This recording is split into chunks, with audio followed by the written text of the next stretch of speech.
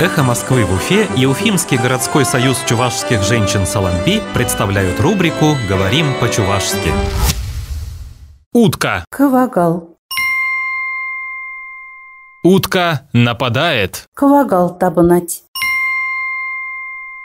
Утка нападает. Кывагал табынать. В Уфе утки нападают на посетителей магазина, выпрашивая еду. Эпхио хулынче кывагалзем магазина келегенсене шиме ыйтса табынаще.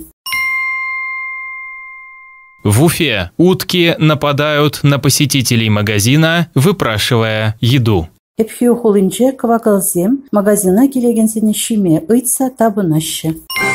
«Эхо Москвы» в Уфе и Уфимский городской союз чувашских женщин «Саламби» представляют рубрику «Говорим по-чувашски».